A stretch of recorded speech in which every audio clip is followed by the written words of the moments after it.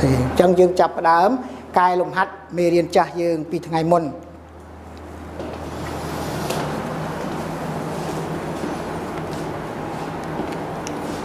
correct homework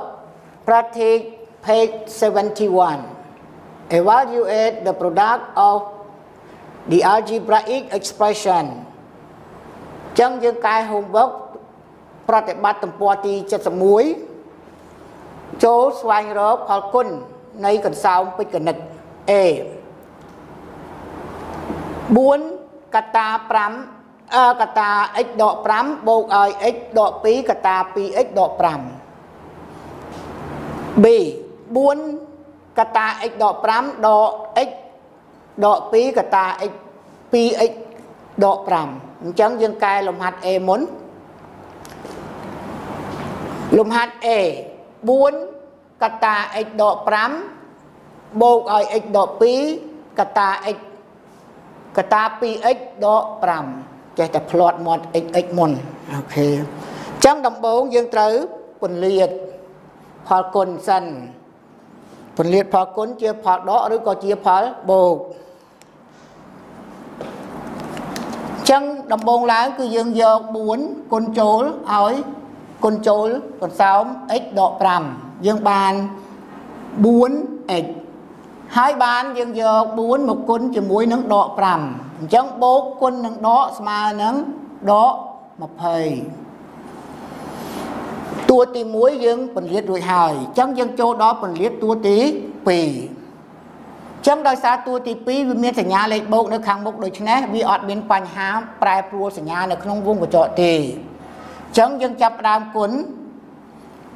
x គុណឲ្យ 2x ស្មើ 2x ការ៉េ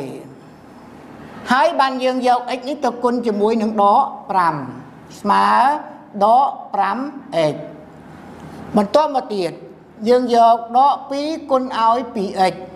គឺដកគុណនឹងបូកស្មើនឹងដកដូចគ្នាដក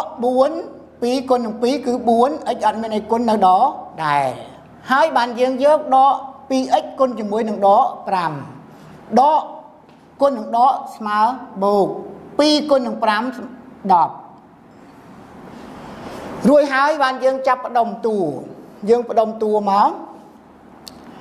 អាណាដែលមាន x x ដូចគ្នាយើងផ្ដុំដូចគ្នាឬក៏យើងបូកដកទៅក្នុងនោះតែម្ដងក៏បានដែរអញ្ចឹងយើងអាចផ្ដុំ 2x ការ៉េដាក់មុខមកហើយយើងផ្ដុំវាមកគឺ 4x ដក 5x ហើយបានដក 4x នៅសល់ដក20សល់បូក10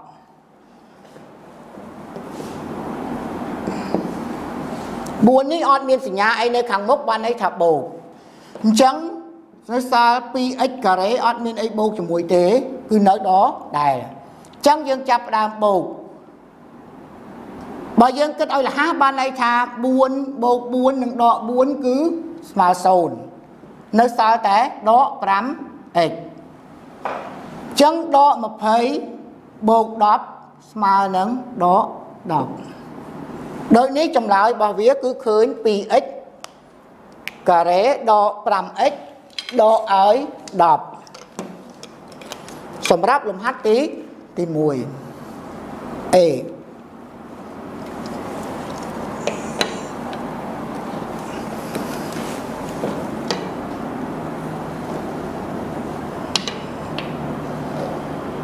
បាទអញ្ចឹងកូនកូនមើលតន់ទេហ្នឹងបន្ទាប់មកទៀតយើងចូលដល់លំហាត់ទី2គឺលំហាត់ B លំហាត់នេះគឺដូចគ្នាទេដូចគ្នាបេះបិទប៉ុន្តែគ្រាន់តែវាខុសសញ្ញសញ្ញា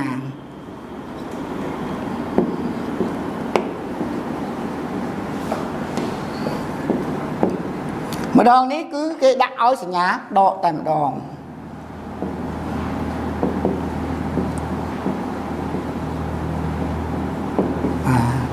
ចឹងចូលប្រយ័ត្នសញ្ញាដកនៅមុខវងក្រ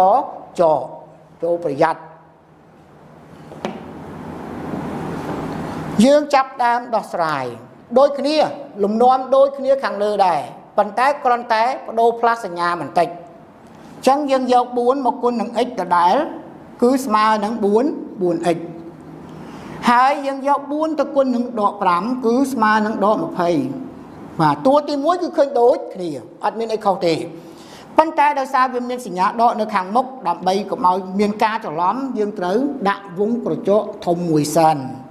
ហើយបានយើងចាប់ដើមគុណពលាតដូចធម្មតាអា2 x គុណនឹង 2x ស្មើនឹង 2x ការ៉េរួចហើយបានយើងយក x ទៅគុណនឹងដក5បូកគុណនឹងដកគឺចេញដក x គុណនឹង5គឺស្មើនឹង 5x ហើយបានយើងយកដក2គុណឲ្យ 2x ដកគុណនឹងបូកចេញដក2គុណនឹង2គឺ 4x អត់មានអីគុណគឺនៅដកដែរហើយបានយើងយកដក2គុណនឹងដក5អញ្ចឹងដកគុណនឹងដកគឺស្មើនឹងបូក2 5ដង10បិទមកវិញបាទបាទអញ្ចឹងយើង ចាប់ផ្ដើមមើលកន្លែងនេះគឺយើងប្រយ័ត្ននឹងសញ្ញាដកនៅមុខវងក្រចថាតើមានអ្វីផ្លាស់ប្ដូរនៅក្នុងវងក្រចដូចនេះដក 5x យើងកណនីក្នុងសិនដក 5x និងដក 4x គឺស្មើនឹងដក 9x បាទអញ្ចឹងយើងចាប់ផ្ដើមពន្លាតវងក្រចលុបវងកញ្ចក់ 4x គឺនៅដកដែរដក20 នៅដដែលយើងដក 2x ការ៉េដក9ដូរទៅលុបវងកញ្ចក់ទៅជាបូក 9x រីឯបូក10បូក10ទៅជាដក10បាទយើងលុបវងកញ្ចក់គឺដូរសញ្ញាបានន័យថាបូកដូរទៅជាដកដកដូរទៅជាបូកណាបូកដូរទៅជាដកអញ្ចឹងយើងចាប់ផ្ដើមដក 2x នេះយកដក 2x មកដាក់ខាងមុខវិញពីដក 2x ការ៉េហើយយើងបូកបូកណា 4x បូកជាមួយនឹង 9x គឺស្មើនឹងបូក 13x សល់លេខនឹងលេខដក20ហើយនឹងដក10គឺស្មើនឹងដក30 30ដូចនេះចម្លើយរបស់យើងគឺឃើញណាឃើញដក 2x ការ៉េបូក 13x ដក30 30បាទចឹងកូនកូនទៀងមើលចម្លើយរបស់ខ្លួនរៀងរៀងខ្លួនមើលថាតើកូនធ្វើបានត្រឹមត្រូវដែរឬទេហើយបើវាមិនត្រឹមត្រូវតើខុសឆ្គងត្រង់ចំណុចណា ហើយយើងនឹងកែនៅចំណុចខ្វះខ្វាតខ្វះខាតរបស់យើងអូខេអញ្ចឹងការកែមេរៀនចាស់ លោកគ្រូសូមបញ្ចប់ត្រឹមនេះហើយយើងនឹងជួបគ្នានៅវគ្គបន្តមេរៀនថ្មីគឺមេរៀនទី5ពួន